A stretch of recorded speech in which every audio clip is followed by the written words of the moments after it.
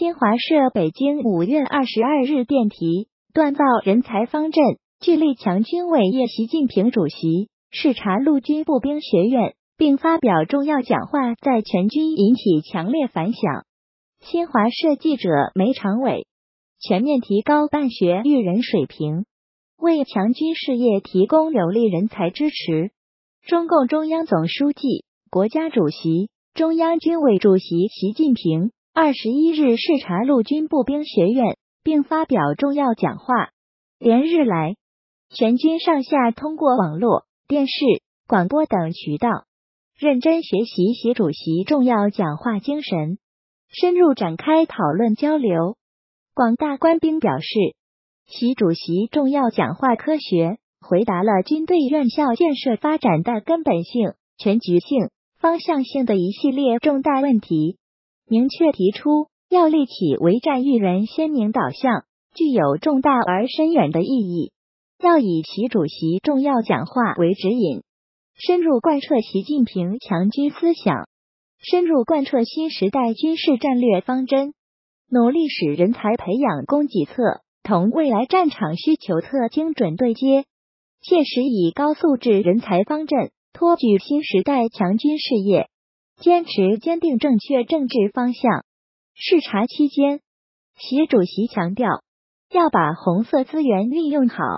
把红色基因传承好，培养一茬茬、一代代合格的红军传人。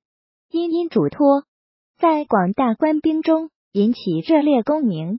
陆军工程大学党的创新理论播火者团队负责人、政治工作系主任于红表示。学校是立德树人的地方，政治理论课是落实立德树人根本任务的关键课程。作为军校政治理论教员，要坚决担负起这一使命，引导广大学员自觉筑牢忠诚之基，补足精神之钙，厚植爱国情怀，当好红色江山的坚定捍卫者和守护者。陆军步兵学院政治工作教研室主任郑红军表示：“坚持坚定正确政治方向，就要坚持用习近平新时代中国特色社会主义思想和习近平强军思想武装头脑，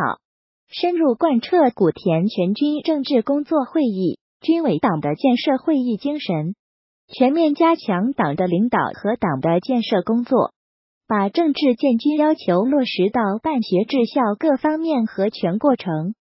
国防科技大学、海军潜艇学院、空军工程大学广大教员学员表示，当合格红军传人，听党的话，跟党走，既要刻进头脑里，更要落在行动上。不管是在校园还是在部队，不管身处军营还是步入社会。都必须时时事事处处牢记，立起为战育人鲜明导向，培养强军胜战人才是军队院校的主责主业。火箭军工程大学校长李华感到，学校当前建设发展面临着备战打仗导向更加鲜明，军事教育改革任务十分艰巨，科研创新形势更加紧迫。狠抓落实要求更加严格等新形势、新任务、新要求，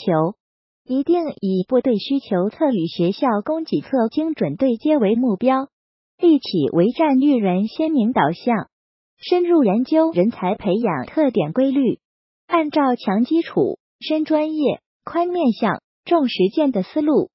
不断优化教学内容和课程体系。武警工程大学信息工程学院大数据工程教研室主任张之明表示，习主席的重要讲话给一线老师打了气、鼓了劲。作为军校教员，三尺讲台是战场，培养优秀学员是他们的毕生追求，一定要与未来战场需求精准对接，一切教学科研都要为打赢服务。将习主席重要讲话精神内化于心、外化于行，努力在为打赢服务上实现更大突破。习主席的重要讲话让人倍感振奋，深受鼓舞。正在东北、东南方向开展现代教学的国防大学战略指挥培训班联合作战指挥培训班百余名将校学员和教员们表示，一定牢记嘱托，紧紧围绕联合作战指挥人才培养核心职能，聚焦备战打仗，瞄准世界一流，坚持以战领教、为战教战，切实提升教战研战本领，坚持改转并举，加强实践探索。强军必先强院校、强人才。近年来，随着国防和军队改革深入推进，军队院校建设发展迎来新机遇，也面临新挑战。习主席的重要讲话为我们紧贴形势任务需要，全面提高办学育人水平指明了前进方向。武警指挥学院教务处处长陈长江说：“他们将从构建能力指标、搞好培训设计。”优化教学内容、建立教学团队、健全制度机制等八个方面入手，持续推进实战化教学改革，确保培训质量与站位需求无缝衔接。空降兵某训练基地政治工作教研室副教授邢军杰表示，要积极适应改革，创新探索紧贴实战、引领发展的教学训练模式，研究形成面向部队。聚焦主业的理论创新成果，建设一批对接战场、服务打仗的军事精品课程。近日，行军节所在基地正在开展育英尖兵群众性教学比武活动，以进一步提升教员专业组训能力、一线教学质量和课程建设水平。陆军某师、北部战区海军航空兵舰载直升机某部、火箭军某旅。战略支援部队驻豫某部官兵表示，落实习主席重要指示精神，推进军队院校办学模式和运行机制创新，不仅有利于培养符合部队建设和未来战争需要的优秀人才，也有利于部队与院校开展互动合作，不断把集约集优、开放办学、联合育人推向深入。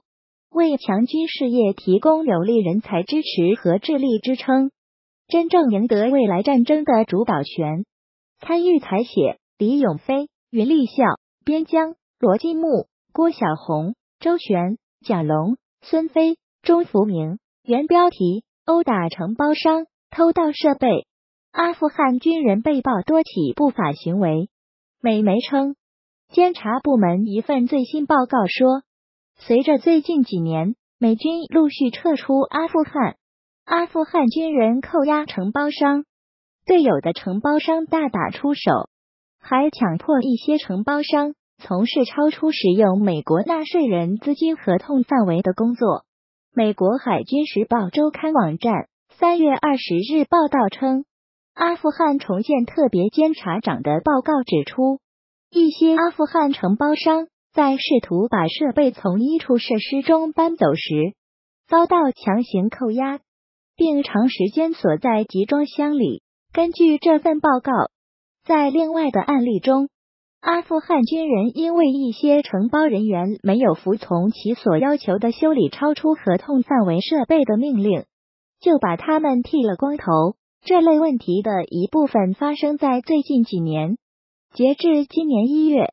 阿富汗部队从全国十七处设施偷到了承包商设备，